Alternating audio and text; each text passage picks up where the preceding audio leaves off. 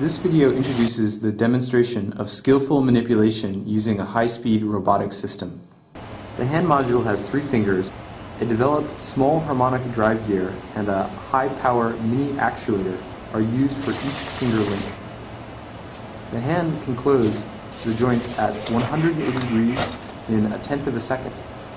The vision system consists of 128 by 128 photodetectors and an all-pixel parallel processing array. Using the vision chip enables various image features to be computed within one millisecond.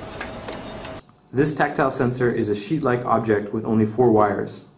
This sensor can measure the center position of a two-dimensional distributed load and the total load within one millisecond.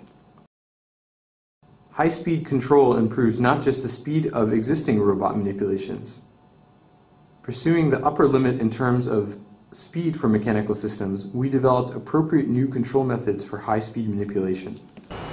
This is dribbling. High-speed active control enables the maintaining of a periodically stable motion. We call it dynamic holding. The dribbling period is around 100 milliseconds. This is pen spinning.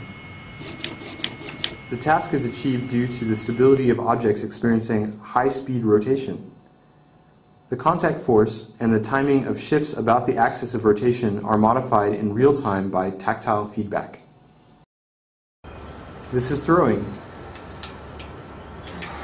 The release method is designed so that the error of the ball direction is reduced by the apparent force, which is generated by a high-speed arm swing.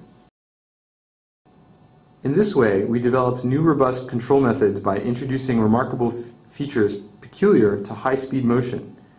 Based on such a control strategy, skillful handling of more practical objects is also achieved. This is knotting of a rope. The hand can dexterously control a flexible object through high-speed sensory feedback control regardless of its unpredictable motion. This is grasping a rice grain with tweezers. The tiny object is manipulated using a typical human tool. High-speed visual servoing enables the modification of force between finger and the tool. This is dynamic regrasping of a cell phone. This regrasping consists of throwing and catching, which contrasts with traditional methods that maintain contact state. These videos show that high-speed sensor motor fusion has great potential to produce new control strategy and new robotic skills.